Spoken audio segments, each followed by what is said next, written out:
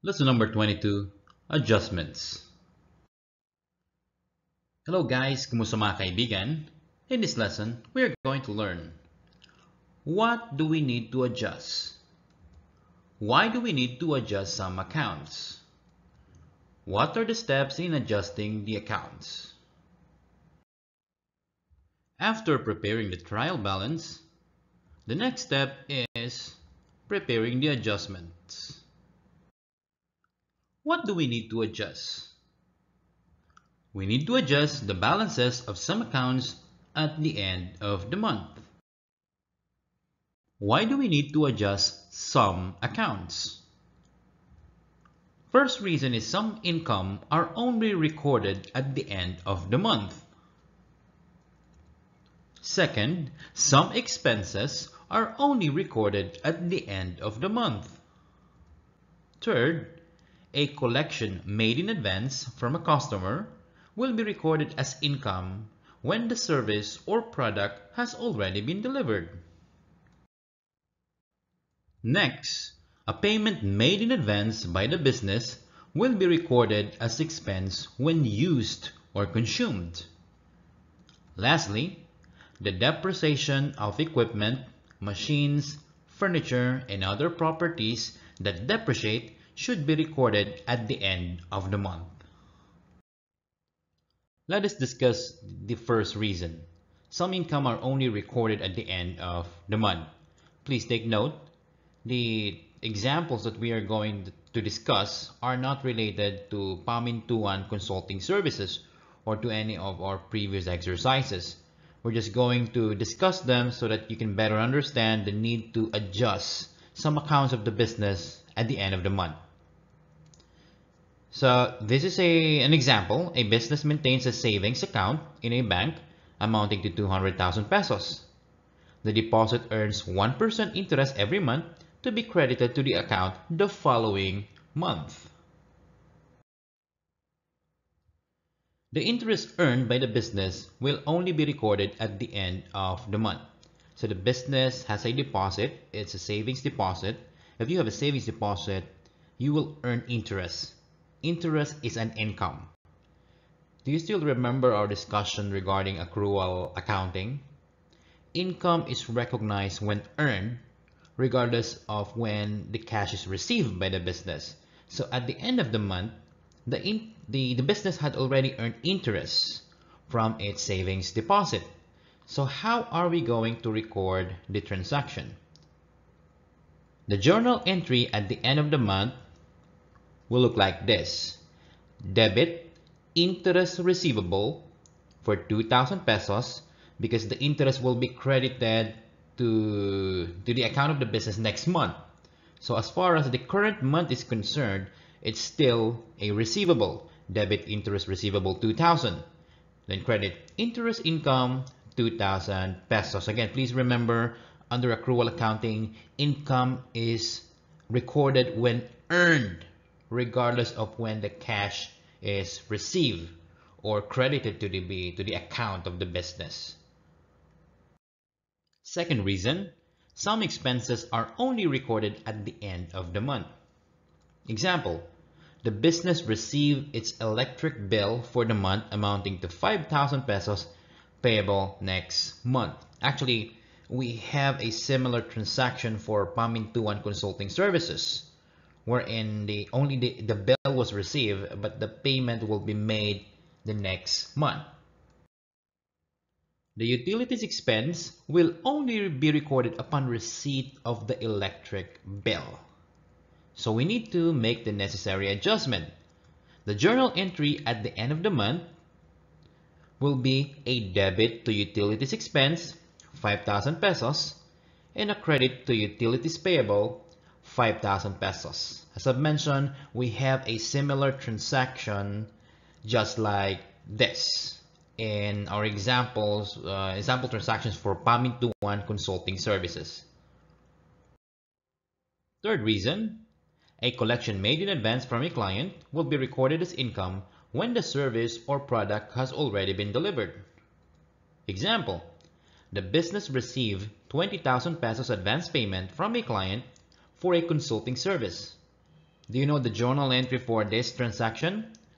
We debit cash, then we credit unearned revenue. At the end of the month, the business had already completed 50% of the work. Income is only recorded when the service or product has already been delivered, whether cash is received before or after the delivery. That is why when the, uh, when the business received the advance payment, we had recorded a liability, not an income, but a liability. The journal entry at the end of the month will involve a debit to unearned revenue for 10,000 pesos. This is equivalent to the 50% advance payment, half of the advance payment should be recognized as income already. So we have to reduce the unearned revenue because a portion of the original 20,000 unearned revenue is already earned revenue. So we debit unearned revenue in order to reduce the liability.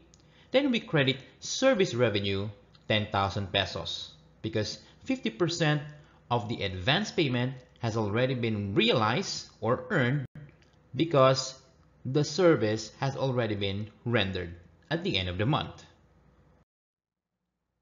Next reason, a payment made in advance by the business will be recorded as expense when used or consumed. Example, the business paid the rent for three months in advance, 9,000 pesos. So at, at the end of the month, the rent for one month should be recorded as an expense. This is our prepaid rent. Expense is recorded when an asset or service is consumed. The journal entry at the end of the month will involve a debit to rent expense, 3,000 pesos. This is the consumed part of the prepaid rent. Then a credit to prepaid rent, 3,000 pesos in order to reduce prepaid rent by 3,000, the consumed part of the advance rental payment. Next reason, the depreciation of equipment, machines, furniture, and other properties that depreciate should be recorded at the end of the period. What is depreciation? Depreciation is a way to spread the cost of an asset that depreciates over its useful life. Generally, it is applicable to depreciable property and equipment. When an asset depreciates, it loses its value due to passage of time, usage, or physical deterioration. Depreciation is an expense because it's the consumed uh, or used part of the asset. Example of assets that depreciate, building, equipment, machines, and furniture and fixtures. How do we compute for the depreciation? To compute for the depreciation, we need the following. First, we need the cost. The cost is the amount we paid for the asset. Second, we need the salvage value. It is the estimated amount for which we can sell the asset at the end of its life. Then, we need the useful life. It is the estimated years or months for which we can use the asset. This is the formula to compute for the depreciation. Depreciation equals to the cost minus salvage value divided by its useful life.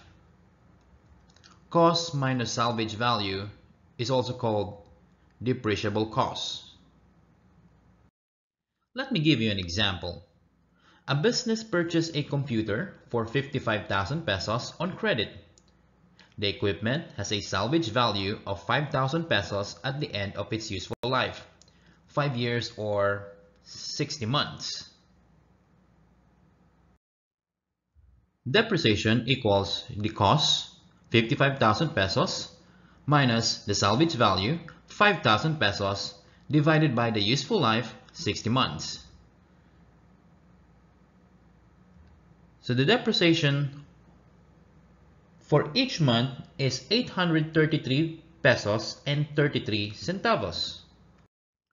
The journal entry at the end of the month will involve a debit to depreciation expense, 833 pesos and 33 centavos, and a credit to accumulated depreciation, 833 pesos and 33 centavos. In our journal entry, we had credited accumulated depreciation. What is an accumulated depreciation? Is accumulated depreciation an asset? No! It's an account used to show the total depreciation recorded for a given time. It's a contra asset account. When I say contra asset, it is always deducted from an asset. Accumulated depreciation is increased by a credit and decreased by a debit. At the end of the month, the computer has a value of 54,166 pesos and 67 centavos. How did we get this amount? Office equipment, the cost is 55,000 pesos, less accumulated depreciation, 833 pesos and 33 centavos. As I've mentioned, accumulated depreciation is a contra asset account. Office equipment is an asset. We have to deduct the accumulated depreciation because it pertains to the expired portion of the office equipment. So when someone asks you, how much is the book value of the office equipment? The answer is 54,166 pesos and 67 centavos. How about next month? Office equipment, 55,000 pesos, less accumulated depreciation, 1,666 pesos and 66 centavos. So we just have to add another 833 pesos and 33 centavos to the accumulated depreciation because on this date, two months worth of depreciation had already been recorded. So the book value next month would be 53,333 pesos and 34 centavos. Here are some important things that you have to remember regarding adjustments. Adjustments are analyzed, journalized, we call them adjusting entries, posted, and of course, we have to prepare the adjusted trial balance.